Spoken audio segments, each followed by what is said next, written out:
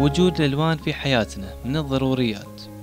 نلقاها في ملابسنا في بيوتنا في مدارسنا وكلها أثرت على نفسياتنا وشخصياتنا خلال مراحل نمونا.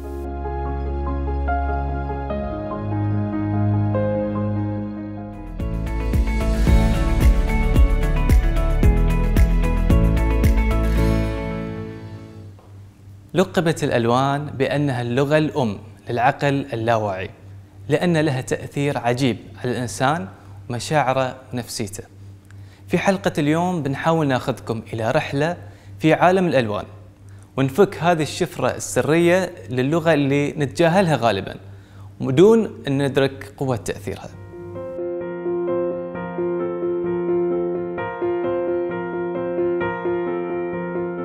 يعني الإنسان من يولد كطفل آه، تثير الألوان الحارة الألوان البراقة الألوان اللي فيها جدب ولهذا آه، يتدرب الإنسان من هو صغير على حبه للألوان. طبعا الألوان لها تأثير كبير على مشاعر الإنسان. ف واختار بعضها أن تكمل حياته يعني تكون يعني جزء من سياق حياته كمثل اختيار اللون الأبيض لون للطهارة لون للشفافية للحب. آه، اختار مثلا اللون الأسود أحيانا للحزن آه، أحيانا للاشياء الرسمية. آه، ف وهلما جرى شوف اللون وين يتحرك؟ يتحرك مع العالم مو بس مع الفنان.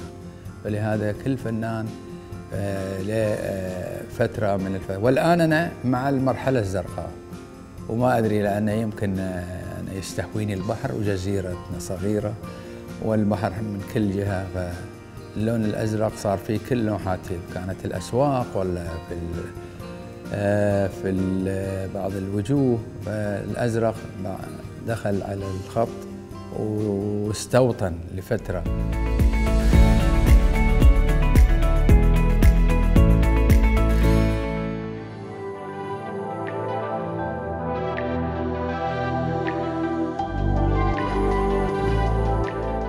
عرضنا شخصين للوحتين مختلفتين. اللوحة الأولى غالب عليها اللون الأحمر والثانية غالب عليها اللون الأزرق. وقمنا بتصوير ردة الفعل خلال دقيقتين. وبعدها سألناهم شنو حسيت بعد مرور أول دقيقة في التجربة؟ حسيت شوية عدم ارتياح لأن حسيت اللون الأحمر كان طاغي على الصورة واللون الأحمر شوية يثير مشاعر الغضب في الإنسان. ما أعتقد أقدر أرتم أكثر من يعني إذا مثلا قاعد في مكتب أو في غرفة ما أعتقد أستمر أكثر من نص ساعة ساعة. صراحة ما عندي فكرة في مجال الرسم بس من خلال ما نظرت اللوحة يعني لفترة من الوقت لاحظت أنها تجلب الراحة والطمأنينة آه اللون الأزرق هو الصراحه يريح يعني بحيث لو تخلي يعني لو يوم أو أيام ما عندي مشكلة معه. أفكر في البحر يعني أكثر شيء على بالي البحر. اللون يعني أكثر شيء اللي أشوفه على هاي وهي لون السماء فهالشيء يخليني يعني أكون مرتاح يعني. في تجربة أخرى قاموا بسكب الشاي في أكواب بألوان مختلفة أحمر وأصفر وأزرق. بعدها خذوا راي المتذوق فقال إن الشاي في الكوب الأحمر حلو أكثر وحامض شوي في الكوب الأصفر وأكثر مرارة في الكوب الأزرق مع إن الشاي اللي صبوه كله من نفس الأبريق.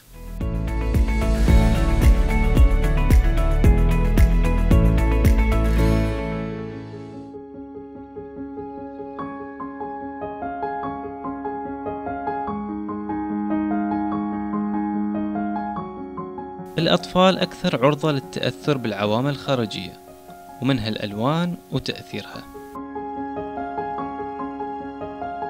مما لا شك فيه أننا يعني ندرك أن الألوان آه، وتمييز الألوان والتعامل معها من الأشياء المهمة للغاية وخاصة مع صغار السن. تبنينا فكرة أن الألوان لها تأثير كبير على الطفل.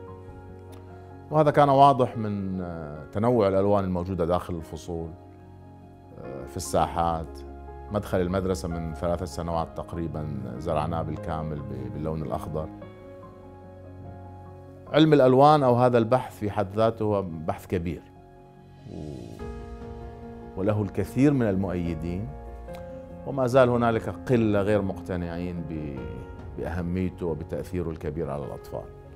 علما أنه هو تأثيره على صغار السن تأثير بالغ. كثير من الشركات كثير من ال big industries بدأوا يدركوا أهمية الألوان سواء في المطاعم سواء في المدارس. الدراسات اللي مؤخرا حدثت أو التي وجدت فيما يتعلق بالألوان أيضا تربط بين تأثير الألوان على التحصيل الدراسي عند الأطفال. ما زالت بحاجة إلى كثير من التعزيز. لكن في النهاية نحن نعلم ونلمس ونستطيع أن نراقب سلوك الأطفال تغير السلوك المرتبط بالألوان بشكل كبير.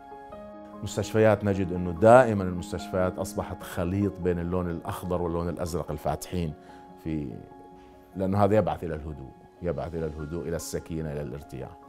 وجدوا هنالك ربط بين الألوان وبين إفراز الغدة النخامية والغدة الصنوبرية.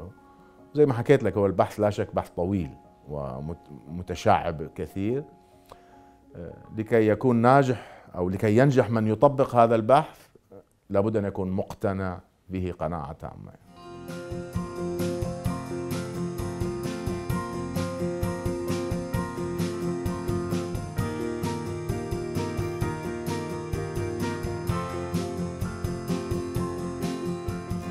من تطبيقات الألوان أن استخدموها في باب تقليل الهدر واستخدموها في باب يعني مراعاة كبار السن. في تقليل الهدر استخدموا في البوفيهات الصحون الخضراء الخضر الداكن بدل الصحون البيضاء. شافوا إن الناس تحط البطاطا المهروسة أو العيش بصورة أقل لأنها تبين كبيرة في الصحن الأخضر. أما في الصحن الأبيض مهما تحط من العيش ما يبين يضيع. أما كيف استخدموها مع كبار السن ففي المجمعات تلاحظ في كل طابق في لون معين الهدف منه أن ضعيف الذاكرة أو كبير السن تذكر وين كان بحسب اللون. وفي تجربة طبقوها في مركز دفع مخالفات السيارات المسحوبة. فتخيل واحد ساحبين سيارته لأنها مخالف مخالفة معينة. فكان يروح المركز وهو غضبان ويتنرفز على الموظف. فصبغوا هذا المركز من الداخل كله بلون وردي. نفس الورد اللي يعني إحنا فيه الآن. فلاحظوا إن 72% من المراجعين انخفضت يعني نرفزتهم غضبهم بدأوا يكلمون بالعكس الموظف بود يعني. فهذه من تطبيقات الألوان في باب يعني الرقي بممارساتنا وسلوكياتنا ومنها يعني السيطرة على الغضب المذموم. ونتذكر كلنا الآية صفراء وفاقع لونها تسر الناظرين. فهذه إشارة إلى أن اللون ممكن يسر الناظر ويعدل نفسيته ومزاجه. نشوفكم على خير إن شاء الله في حلقة قادمة. والسلام عليكم ورحمة الله وبركاته.